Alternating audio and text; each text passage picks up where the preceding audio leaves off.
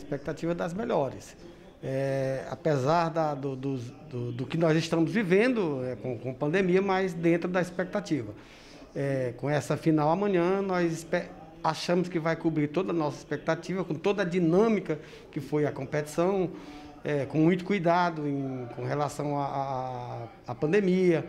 É, acreditamos que vamos bater um recorde de público também, é, até por, por, ser duas equipes que estão é, pela primeira vez disputando essa final, então acreditamos que seja é uma, uma, uma, decisão, da, uma das melhores que terá dos últimos tempos. Por ser duas equipes inéditas numa final do Citricom, o que mais chama atenção que é, mostra que o nível técnico da competição sempre é altíssimo. Nunca dá para apostar que as mesmas equipes farão sempre a final.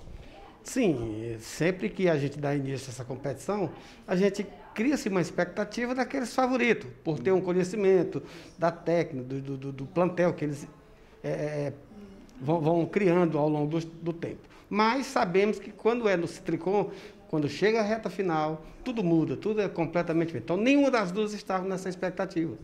Então, foi realmente surpresa, mas chegaram com um bom nível técnico, um bom nível de disputa.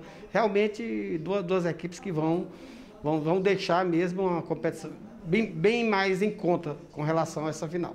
Agora, eu queria que tu falasse um pouquinho da premiação, que vai ser entregue amanhã, e como é que vai ser a entrada do público.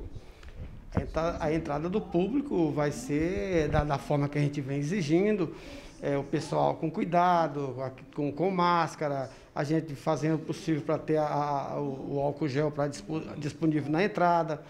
É, o torcedor é, não sócio paga para entrar, para assistir a, a, a, final, mas o associado da entidade, dos Tricom Sindicato, não paga, é entrada livre, comprovou com a carteirinha. E, e, estamos fazendo o que nós estivemos mantendo vários, em vários anos, uma, uma, uma, uma premiação de, de alto nível, valorizando a competição e os times que chegam na final. Nós vamos fazer uma premiação para o campeão de 25 mil 10 mil para o vice-campeão e, e, distribuir o restante entre artilheiro, melhores jogadores, melhores goleiros, melhor da, da, da, da partida final. Então, tudo isso faz parte do, de uma programação muito bem elaborada pela organização e por alguns colaboradores que, que ainda há muito tempo também continuam com a gente. Então, tem sido um, uma, uma dinâmica também nisso.